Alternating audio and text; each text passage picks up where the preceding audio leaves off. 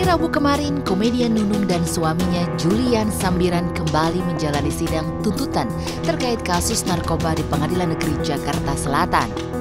Dalam sidang tersebut, Nunung dan suami dituntut satu tahun enam bulan dipotong masa tahanan dengan ketentuan menjalani rehabilitasi di RSKO Cibubur, Jakarta Timur terkait kasus penyalahgunaan narkotika yang menjerat mereka. Beberapa waktu lalu sebelum sidang, Nunung sempat dikabarkan sakit pernafasan. Sambil terus berjalan ke ruang sidang dan menggandeng tangan sang suami, Nunung sempat berkomentar kondisinya baik-baik saja. Tembok. Mbak Nunung sehat? Bang, bang. Kemarin katanya sakit pernapasan bener nggak Manu? Ada ada aja sakit Awas pernapasan. tembok. Tapi sempat kamu Ya, usai sidang dan mendapat tuntutan satu tahun enam bulan, tak ada satu kata pun yang diucapkan Nunung saat berjalan keluar ruang sidang. Hanya sang suami menjelaskan pihaknya akan mengajukan nota pembelaan atau pledoi. Ya, kita lihat dulu nanti pembelaannya. Lihat dulu ya, nanti ya. Kita masih belum bisa jawab nanti ya. atau menerima mas? Itu makanya tadi ada pledoi, ada pembelaan lagi. Mbak Nunung kelihatan lesu hari ini. Ya maaf ya, sudah ini mau pulang udah capek karena menunggu tadi. Ya kita kooperatif aja dari kami. Awak media pun terus membanjiri Nunung dan Ian dengan beberapa pertanyaan termasuk perihal wajah Nunung yang terlihat sangat murung.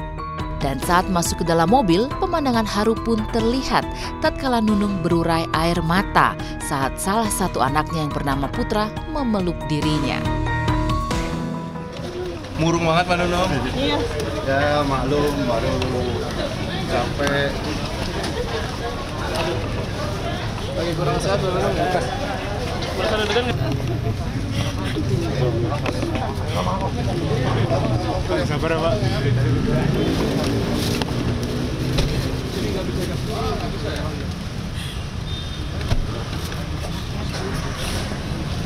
Ya mas ya. Surya, Nggak bisa ngomong dah saya mas. Surya, Tadi mama tadi apa sih? Apa shock apa gimana? Ya, shock mas pasti. Aduh, ya. Shock mbak pasti. Yang disampaikan mama. Mama nggak nyampein apa-apa dia cuma ya nangis mbak takut pasti. Udah. Pasti kecewa mama. Harapannya ya pasti seringan-ringannya. Kan ini masih tuntutan ya. Besok masih bisa banding kan.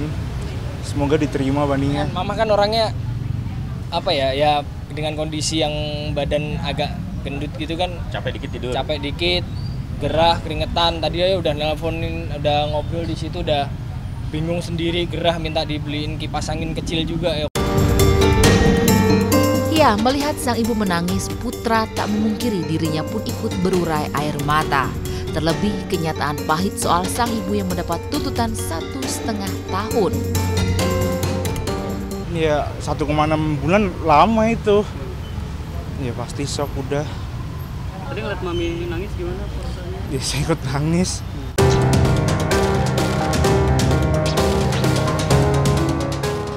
Ke depannya pihak keluarga Nunung masih terus berupaya agar Nunung dan Ian mendapat hukuman yang seringan mungkin. Pihak Nunung pun akan mengajukan pembelaan pada Rabu 20 November mendatang mengenai tuntutan jaksa penuntut umum. Ya eh, saya mewakili keluarga tetap menerima apa pun hasil tuntutannya hari ini.